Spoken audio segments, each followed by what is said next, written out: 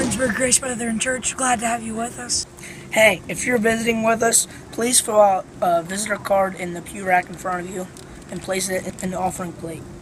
If you have a child that becomes discontent, feel free to go to the family room, which is left of from the information desk. We also have overflow in the multi-purpose room. If you'd like to sit there, please just talk to an usher.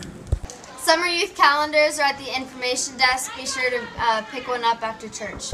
Adventure camp for 6th and 7th graders starts tomorrow. Registration is from 10 to 11. The Operation Barnabas event is this Wednesday. For more information, see the bulletin or talk to Pastor Darrell. Starting July 6th, new 6th graders will go to the Culps and new 9th graders will go to the Stearns for some groups. August 28th is Baptism Sunday at the Stern Farm. If you want to be baptized, contact the church office for more information. If you want to submit new information for the church directory, please do that before July 31st. You can do that online or in the church office. Thanks for joining us today. For more information, look at your bulletin or go on mgbconline.com.